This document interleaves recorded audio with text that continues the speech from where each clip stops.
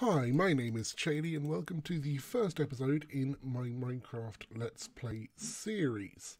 Um, just as a bit of a disclaimer, I don't know where I want this Let's Play to go. I'm just going to be having fun, doing a bit of building, all that sort of thing as I go along. Uh, thank you all very much for joining me, and I hope you enjoy. So, without further ado, let's ado further. So, I've just generated this world. I guess the, the most sensible thing to do straight off seeing as this is a jungle, is to start exploring because jungle, although there's lots of wood, it's not necessarily the easiest thing to get. So I'm just have a quick look in this direction, see what we've got going on. Um, and then I guess once we've got a bed, which hopefully, because this is a play with loads of birch there, we'll get a bed. And I quite like the idea of setting up in a jungle, so we'll walk into the jungle a bit, see if we can find somewhere to set up there. I'll see you when that's all done. So after walking around a bit, I found this uh, cliff face, which I quite like the look of, it looks like there's some sort of cavey thing up there as well, which could be a decent place to start from, maybe. Let's see how accessible it is would be a good start, I guess. Um, because obviously if it's not accessible, and it's going to be a pain to get to every time, which it looks like it very much might be, then maybe not. But at the same time, we can always make it accessible, I guess, with some stairs or something. I don't even know where I'm going to be going anymore. My sense of direction, you'll learn very quickly, is um, awful. There's not really any other way to put it. Here we go. Okay. Oh, get a decent view from here as well. Okay, I think I like this place. On my way, by the way, I picked up some sugarcane and bamboo. And I got that bed. But I think my next portal will maybe shut this bit of the mountain off and make sort of... I'll start a base in here. I think that's what I'm going to do. So I'm going to do a bit of digging, make myself a pickaxe, do a bit of digging. Maybe shut this, shut this off at some point when that's all done, I will get back to you.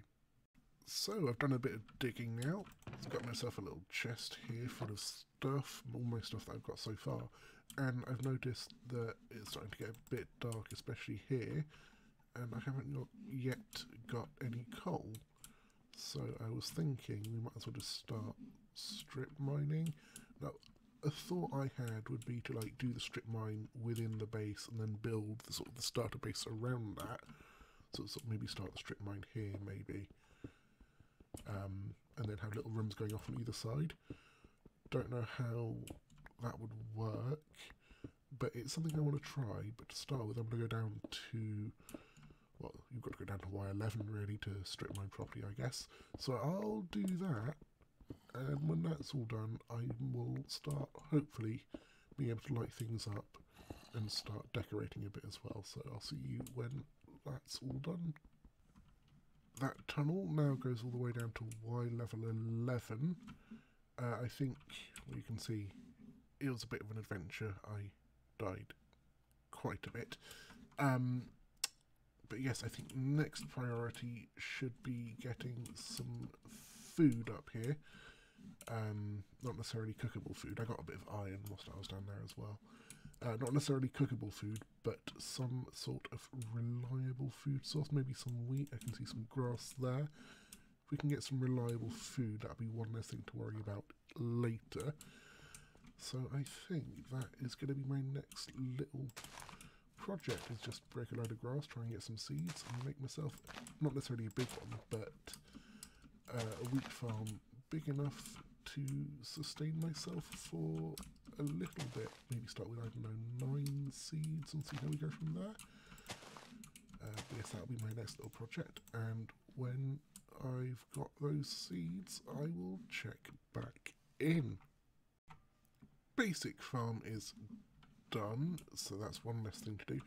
I'm thinking the next most sensible thing to do would be to get myself some diamonds, enough for pickaxe and an enchanting table because that way we can then sort of build ourselves another portal somewhere and get on with enchanting the things.